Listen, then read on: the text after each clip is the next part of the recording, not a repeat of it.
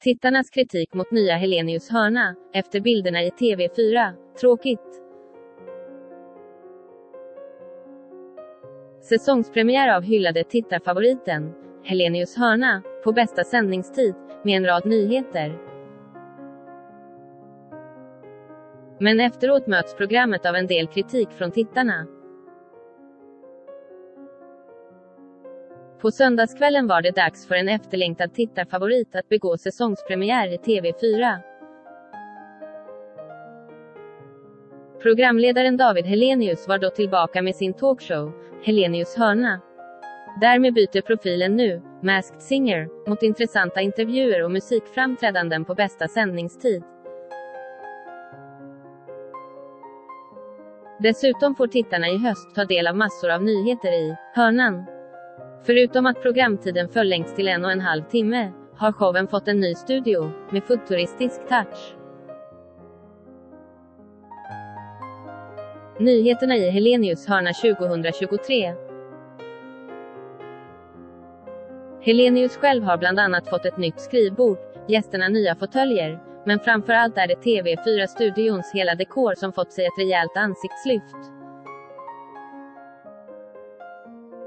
Större, annat ljus, lite mer mysmys, lite loungeigt, säger David Helenius inför premiären. Fotbollslandslagets Amanda Ailstedt och Cecilia Musovic, skådespelaren Fares Fares och artisten Thomas Stenström var alla gäster under premiärkvällen.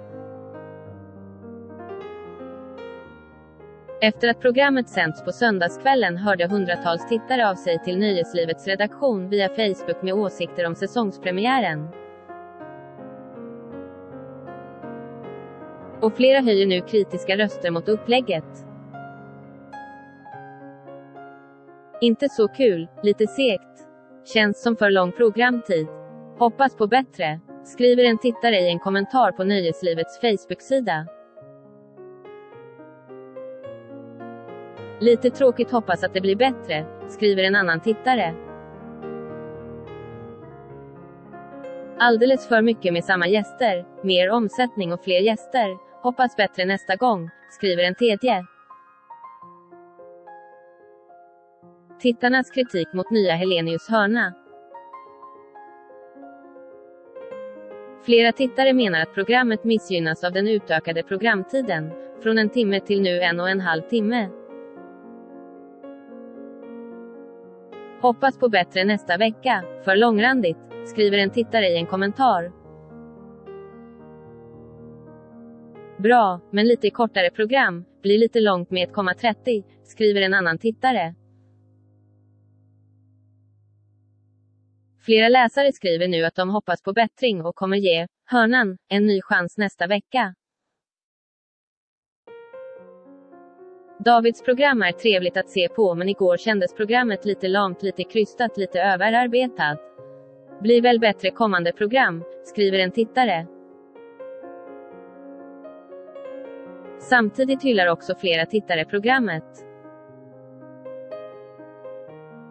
Fantastiskt underbart med lite längre tid för gästerna, skriver en nöjd läsare. Toppen som alltid med David Helenius, skriver en annan. Det var härligt, roligt och befriande, skriver en tredje.